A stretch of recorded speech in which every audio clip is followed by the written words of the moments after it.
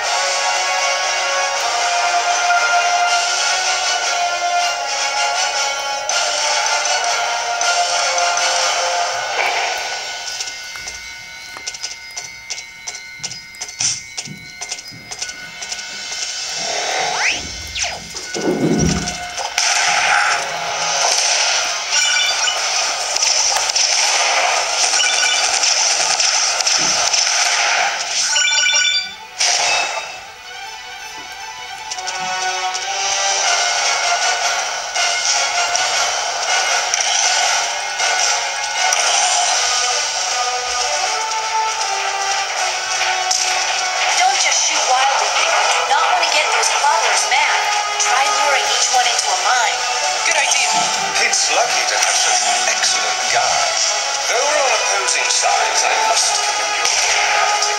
Thanks. It's just part of my job. Besides, Pit's the one doing all the heavy lifting, which is especially impressive for someone.